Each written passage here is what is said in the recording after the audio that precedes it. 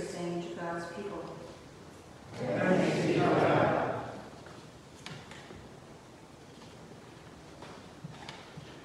Like as the hart desired the water brooks, so longeth my soul after thee, O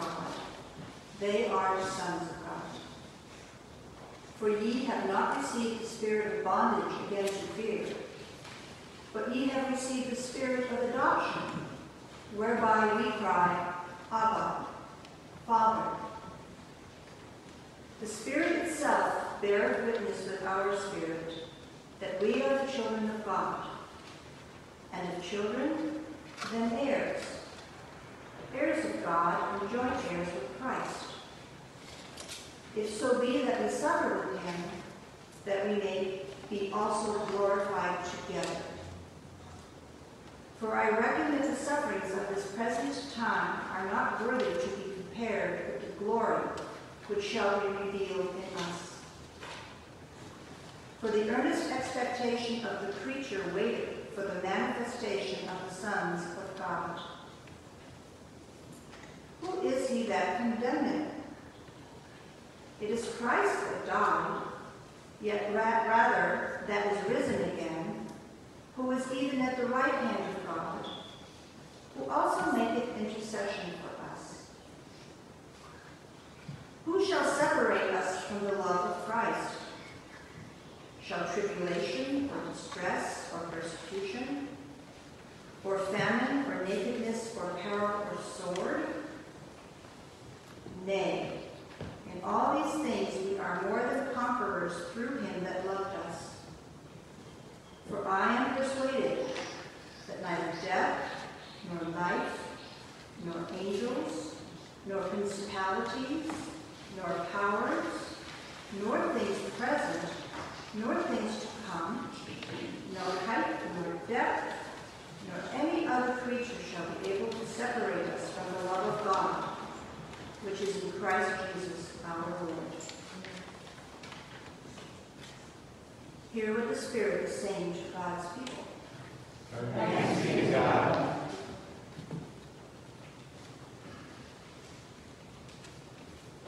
My delight is in the Lord, because he hath heard the voice of my prayer.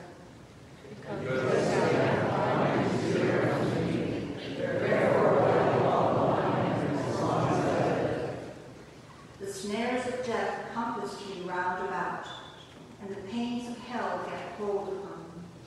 I have found trouble in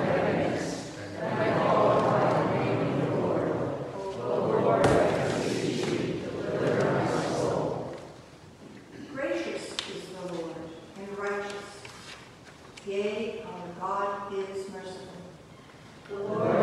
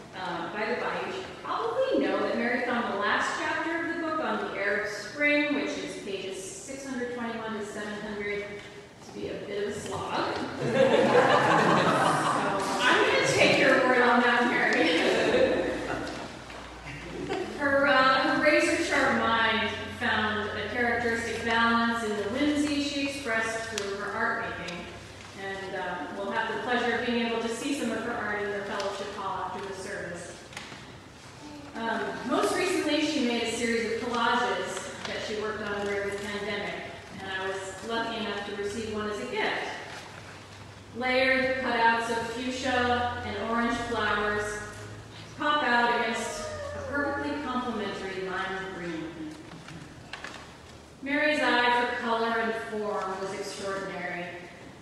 But what I love about her collages are their joy, and a sense that as Mary was making them, she was happily scattering a last batch of wildflowers for others to enjoy. Between her attention to literary and historical detail and her right brain attunement to abstract feeling, one got the sense around Mary of a woman whose life had pursued wholeness, and more incredibly, had found some measure of it. And having cultivated wholeness within herself, I believe Mary had the ability to create space for others to find their own wholeness as well. She took pride in her children, stepchildren, and grandchildren, both in the ways they took after her or Henry, but also in the ways they were different, perfectly their own. I witnessed her ability to celebrate others for themselves in her relationship with Henry and the time the three of us spent together. She had a real comfort in speaking about anything with him present, or also just sitting back and listening, not needing to interject or correct. She was comfortable in her own skin, even when I knew her physical skin was not always comfortable. You see, I believe that Mary lived as someone who believed in the resurrection life that Job speaks of, and of the life everlasting that Jesus speaks of in our scriptures today. Her final days of this biological life were not fraught with insecurity and fear, but with assurance, equanimity, and verve, with trust that her life would continue to unfold after she passed through the portal that is biological death, that she would taste resurrection for herself. The most special times in my visits were when Henry, Mary, and I would share the Eucharist. Mary especially relished the opportunity to receive the Eucharist since, of course, her illness was occurring during the pandemic. I remember in particular her strong desire to share communion during Holy Week. As we commemorated Christ's Last Supper in Mary and Henry's living room, we held vigil together for this crucified world that's still holding its breath for a Sunday that might follow our long pandemic Saturday, and for one another, in our own fragile mortality, of course made more poignant to each of us by Mary's being on hospice. I don't think that Mary's devotion to the sacraments or to love, or her love of sacred texts was naive or simplistic. After all, if anybody had the ability to call into question religiously significant historical documents, it was a woman who made a name for herself identifying in historical literary forgery. I think Mary had experienced the heart of resurrection faith. You see, believing in everlasting life is not so much an intellectual assent to the idea that there's life in some continuing after life on this earth, or even imagination for the idea of heaven. Faith in everlasting life is at its heart faith in our eternal significance, that we forever matter. And in the Christian tradition of which Mary is part, forever mattering is first and foremost found in being a child of God. Not a scholar of God, not an historian of God, not an expert in God, or even a practitioner of God. A child. And what does a child of God know? I ask each of you to consider when you put on your God's child hat, what do you know? And when you let yourself be just a child, what do you know? When you let yourself fully be a child, what do you know? Not with research or logic, but with an inner knowing of the heart. Our scriptures today give us a taste of both what and how God's children might know. A child of God is not naive. A child of God is a realist, knowing by experience that life is hard. As St. Paul puts it, there's tribulation and distress. Sometimes what we're going through causes a soul groaning too deep for words. But somehow, and that how is a mystery, a child of God knows somehow, within the pain, that nothing has separated her or will from God's love. The child of God has a sense that it is love that called her into being, before she had a consciousness to realize that she was being called. And it is love who carries her through the portal of death to something as surprising as entering the world must be for a baby. Just as a baby cannot anticipate the face of her parents from the muffled sounds of their voices from within the womb, we can't anticipate the face of God from the muffled sense of God's presence we get in this world that's so mixed up with suffering and delight. But we have an intuition maybe. That there's something that gives us worth and value that nothing can take away. Not racism or sexism, not job loss or homelessness, not public embarrassment or personal failure, not terminal illness or loss of function. And that something, somehow, hints that if anyone is going to see God, I'm going to see God for myself, in my own flesh. Not somebody else on my behalf. If I am God's child, it's my birthright to look my Creator in the face. And being that newborn baby staring her Maker in the face for the first time, this is eternal life. This is the communion we see, and that I believe Mary has found. When she was in the final days of her life and experiencing some symptoms of what we call actively dying in hospice, uh, a bit of restlessness and agitation, I had the honor of sitting with her at her bedside, singing quietly and speaking to her about how special it had been to get to know her. And I told her that I knew that along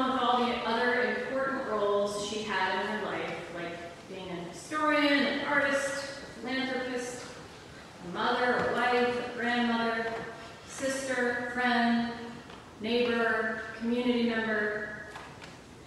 She'd always embodied the role of child of God, now more than ever. This was her first and foremost identity, and it shone through to me very clearly.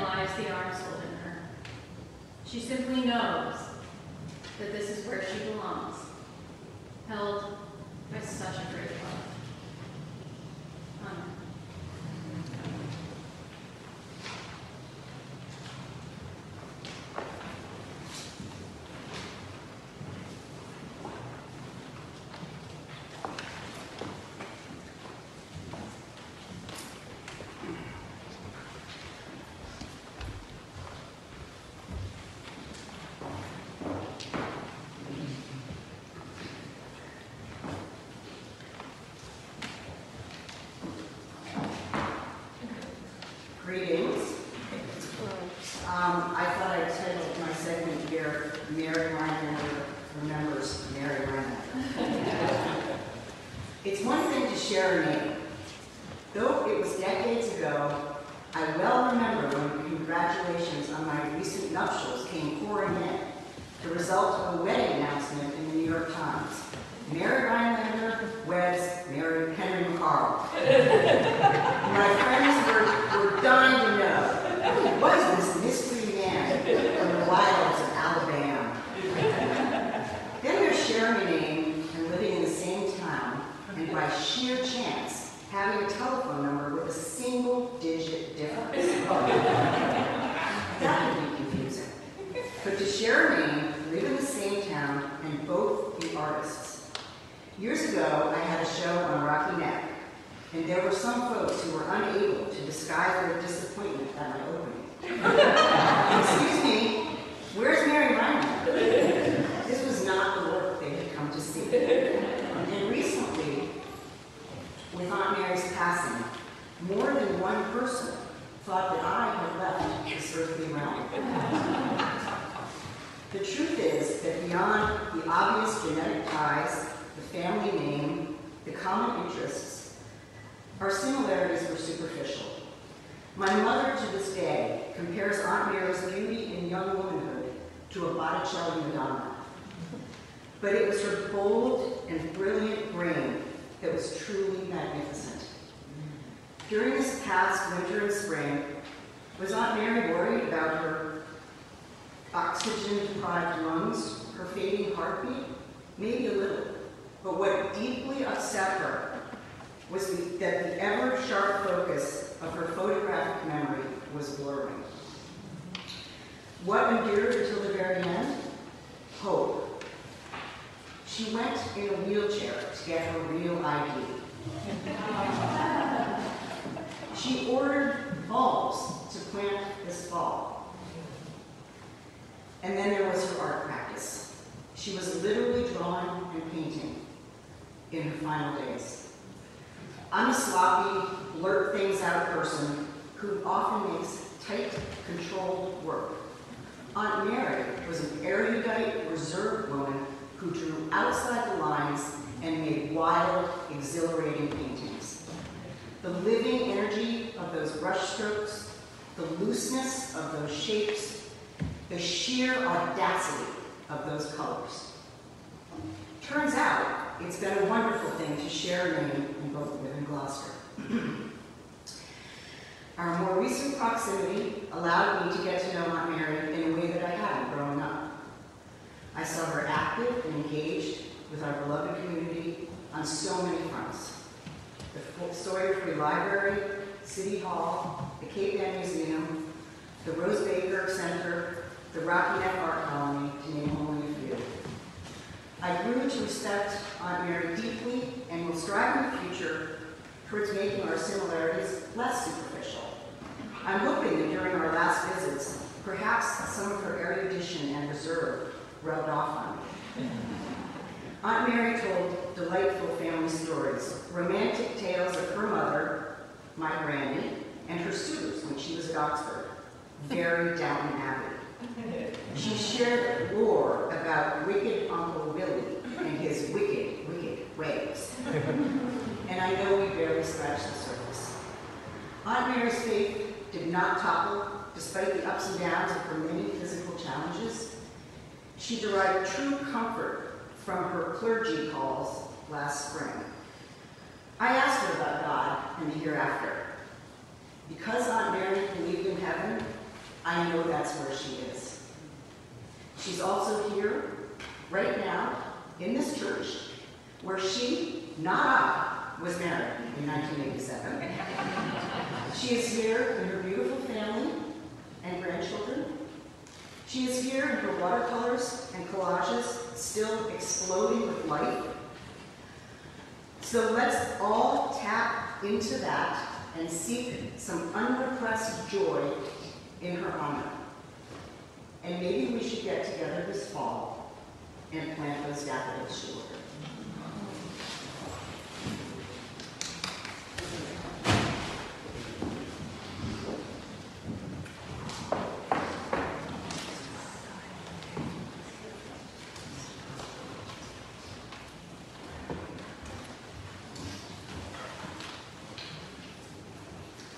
Thank you very much, Mary Frederica, for a wonderful talk about Mary. I'm the wife of John Rhinelander. We married in 1962, and we had four children, two in New York City and two in Washington, D.C. We are known in the family as the JBRs. We have nine grandchildren, five boys and four girls, and most finished their degrees in this COVID era. Together, uh, I'm very lucky today to have Margaret join me, where she will visit with her cousin Francesca and her family. Mary Frederica, my husband's only sister, arrived May 30, 1940, in a town near Philadelphia called Abington, when he was seven years old. When she was a young ger- girl, John thought it would be wonderful to teach Mary the game of tennis. But she had other ideas that did not include anything athletic. Her mother, Connie Templeton, Rhinelander, was thrilled to have a daughter to share in our projects. But Mary quickly learned to read and spent most of her time pursuing embroidery or simply reading anything that fascinated her. Spending hours engrossed in books. When Johnny went off to Groton, she watched games from the bleachers with a book in hand. John became a quarterback of an undefeated team and helped clear the ponds so that the hockey team could practice. Mary adjusted quickly to Winsor School, closer to her home in Boston, and carefully continued to avoid sports of any kind. Many of her oldest friends were educated at Winsor. During her lifetime, she kept in very close touch with them. Graduating in 1961, she went to Radcliffe College, where she excelled in studies, with a magna cum laude.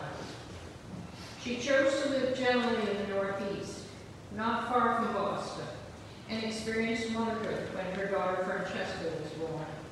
They lived for many years in Nahant, Massachusetts. She lived in the South when she made her home in Alabama, where Henry McCarl, her husband, held a teaching position as a professor of economics, geology, and education at the University of Alabama at Birmingham. Mary worked for two years on the paid staff of the president of that university. When John and I were married in 1962, she was one of my five bridesmaids in a wedding party of 15 that included my sister Jenny and sister Mary. On February 1st, 1987, at St. John's Episcopal Church in Boston, Mary and Hank were married was a cold winter's day with a groom dressed in a handsome kilt. This marriage proved to be a perfect match. They established a fine balance of interests and talents that made life ideal in all aspects. They were married for 34 years until her recent death. This has been a profound loss for all of us, but it has been a privilege to be part of both Hank and Mary's love that lasted for almost third of a century. One might call it a perfect law.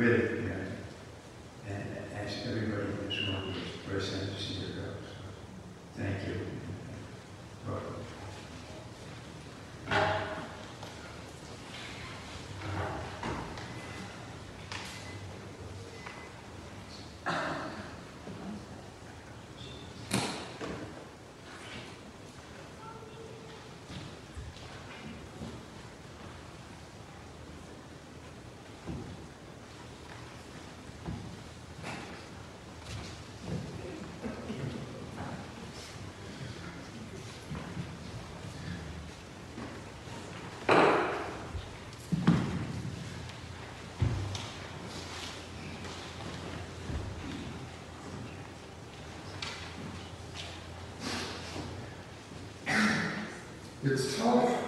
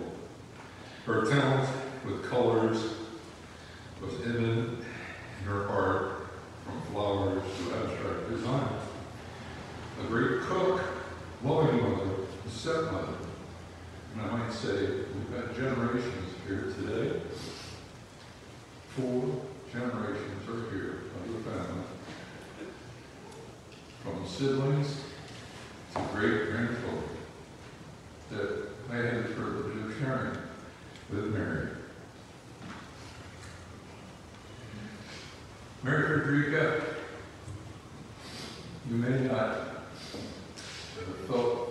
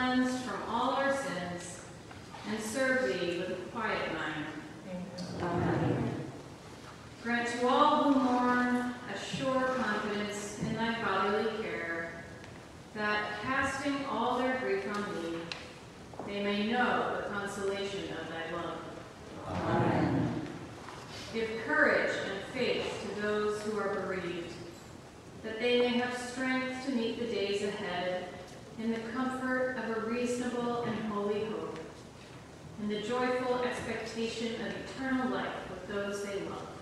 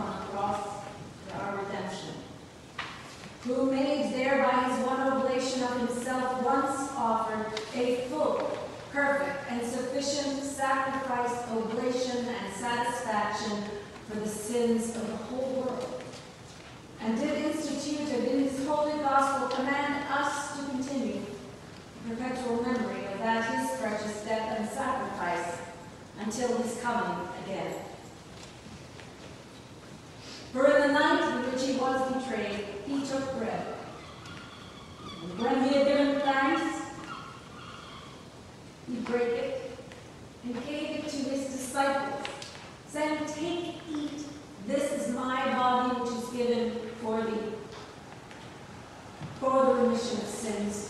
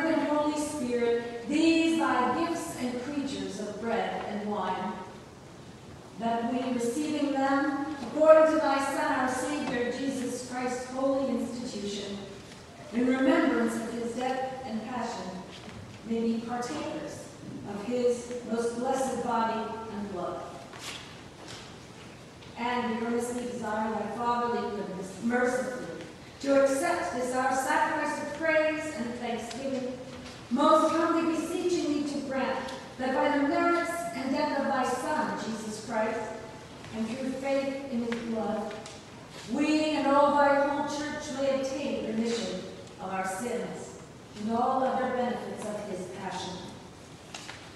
And here we offer and present unto thee, O Lord, ourselves, our souls and bodies, to be a reasonable holy and living sacrifice unto thee, humbly beseeching thee that we and all others who shall be partakers of this holy communion may worthily receive the most precious body and blood of thy Son, Jesus Christ, be filled with thy grace and heavenly benediction, and made one body with him, that he may dwell in us and we in him. And although we are unworthy, do unto thee to any sacrifice, yet we beseech you to accept this, our bounden duty and service, not weighing on merits, pardoning our offenses. Through Jesus Christ our Lord, by whom and with whom and